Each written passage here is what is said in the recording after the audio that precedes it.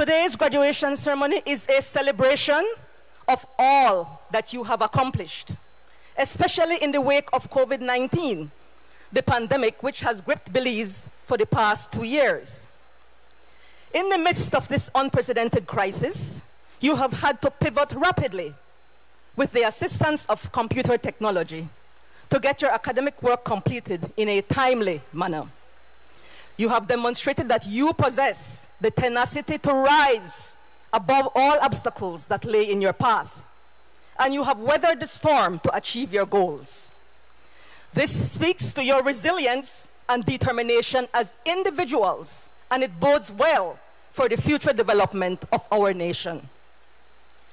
Graduates, you have within you the seeds of your own greatness.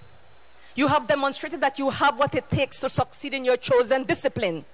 And your presence here today as graduate University of Belize provides irrefutable evidence of that fact.